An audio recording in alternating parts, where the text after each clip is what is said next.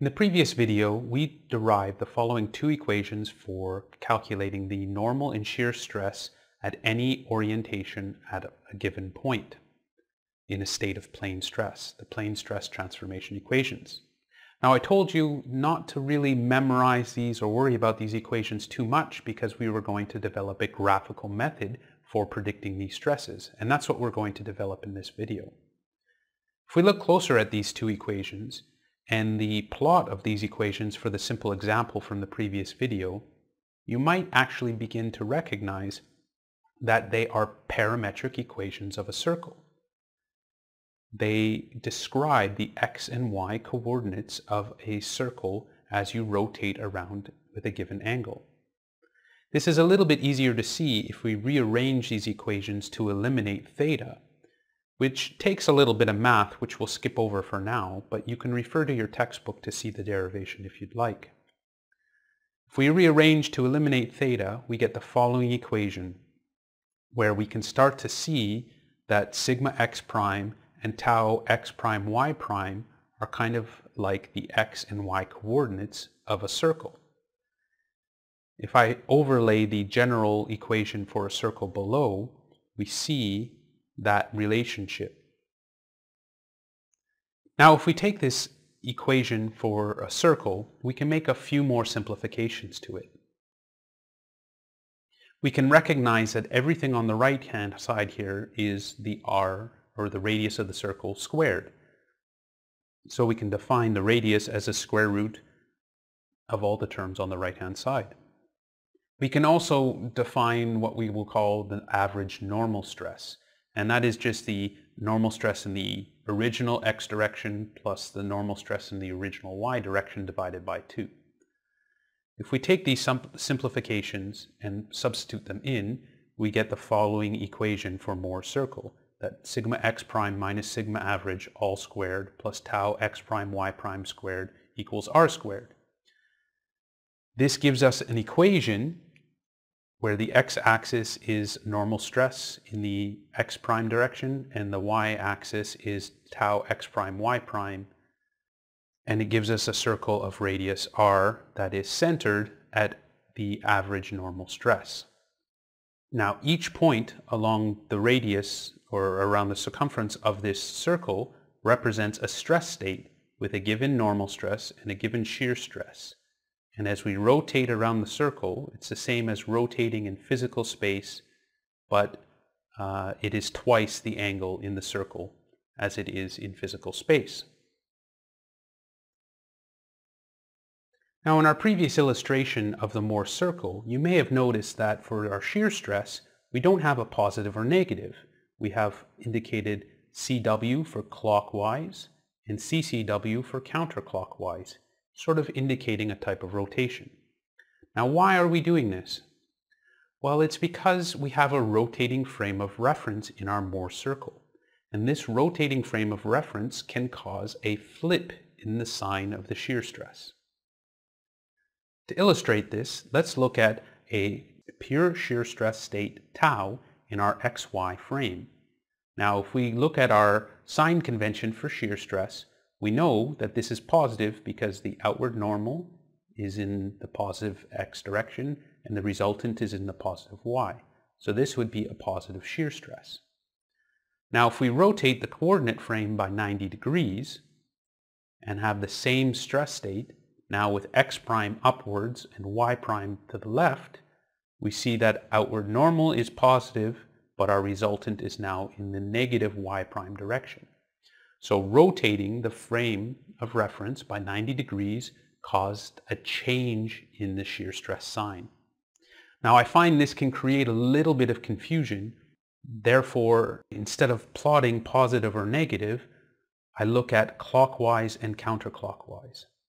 And the convention for this is if I'm looking at a specific face, if that shear stress acting on that face would tend to create a clockwise rotation about the center of the element, then it's plotted in the upper half or the clockwise half of the Mohr circle. Whereas if the shear stress as shown here on the right would produce a counterclockwise rotation, it would be plotted in the lower half. So this actually also illustrates an issue. We know that the sign of all these stresses in the is the same. However, these two faces will be plotted in two different halves of the Mohr's circle. So we use this clockwise, counterclockwise convention just to keep straight that it's not the sign of the stress in a global coordinate system. It's really this rotating coordinate system that we're looking at. We're looking at this face in this coordinate system and this face in this coordinate system. Now let's take a look at the procedure of how to construct a Mohr circle. In order to construct a Mohr circle, we actually need a known stress state. So we will assume that we have a two normal stress components, sigma x and sigma y, and a shear stress component, tau xy. Now, the first step for drawing the Mohr circle is to produce our axes to draw it on. And the axes consist of our normal stress axis, which will be in the horizontal direction, with the positive being in the right or towards the right. And our vertical axis will be the shear stress axis with clockwise rotation in the upper half and counterclockwise rotation in the lower half. We will then locate the center of our Mohr circle and it will be located on our normal stress axis shifted by a distance sigma average. Now we need to locate one point. We have the center but we should locate one point on the Mohr circle and then we can draw it. So I will pick this right-hand face where we have tau xy, which produces a counterclockwise rotation about the center of this point. So I will draw a horizontal line at tau xy going across. Now I need a normal stress coordinate and that will be sigma x. So I'll take sigma x, draw that line down. Its intersection is point A which corresponds to this face. I can now draw the radius and with the radius point and center I can actually draw my Mohr circle. However, we also know another point on the Mohr circle and I will call this face B and it is tau xy that produces a clockwise rotation and sigma y coming up and that produces point B on my circle. Now that we've looked at how to construct a Mohr circle, let's take a look at how we can extract stresses at given orientations. So we already have our original stress state which defines line AB on our Mohr circle, which gives us our stress state at face A and at face B. Now what we want to do is rotate that by an angle theta, which will give us face A prime and face B prime. Now we can draw this on our Mohr circle by recalling that a rotation angle theta in physical space represents a rotation angle of 2 theta on our Mohr circle, which will give us the following line for A prime, B prime. We can then extract our shear and normal stress for face A prime and our shear and normal stress for face B prime. And in such a way it becomes very easy and very useful to utilize Mohr circle to extract those.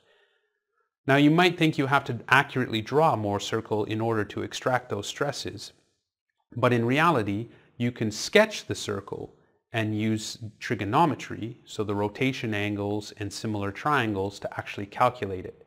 So drawing the Mohr circle just gives you a simple sketch to represent it, but you can utilize um, the properties of trigonometry to calculate the values more accurately. So let's summarize what we saw in Mohr's circle and stress transformations. We saw that plane stresses can be transformed to another rotated coordinate frame and all possible stresses in a rotated coordinate frame can be described by the equation of a circle or by Mohr's circle. So this is the equation we will be using in this course that we want you to memorize and, and use, not those original plane stress um, transformation equations. They're a bit more complicated and more cumbersome.